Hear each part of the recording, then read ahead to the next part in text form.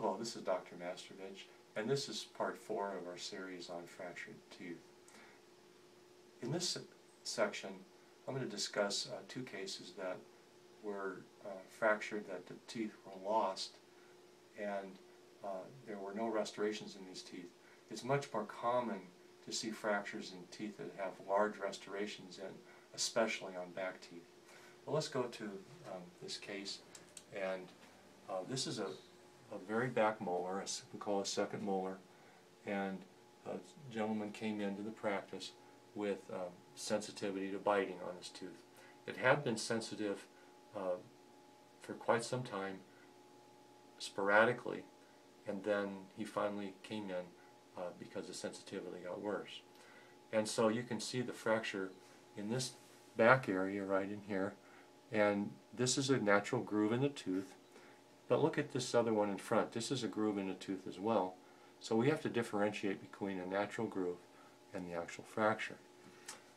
When we um, take a look at the x-ray, again in one of the previous sections I noted that you can't see these fractures on x-ray and again you can't see this one. This fracture proved to be um, quite deep. It went vertically in the tooth. If we come back to our cross section of the tooth, uh, this fracture was vertical. It went way down deep into the uh, roots of the tooth and essentially was dividing the tooth into a left and a right half. So uh, what could you do? Well, it was deemed that this tooth was not restorable because of the, the deep nature of the fracture down into the bone.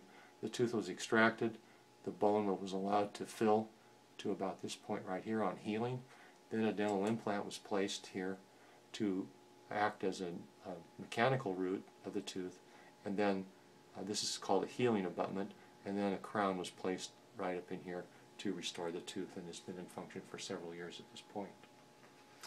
All right, the second case I'm going to show you is very similar in the fact that there was no restoration on the tooth. Here's the x-ray, again not showing any fracture lines.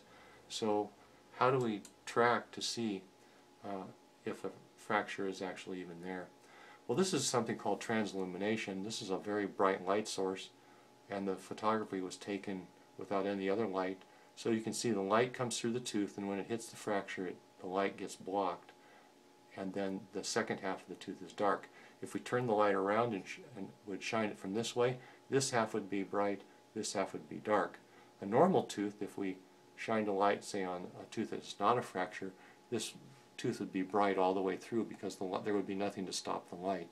So we know this tooth had a deep fracture, and upon further investigation, this was um, this tooth was not restorable either because the fracture had gone down again deep into the way uh, below the the bone level, and it uh, was um, not conducive to uh, resolving the biting sensitivity.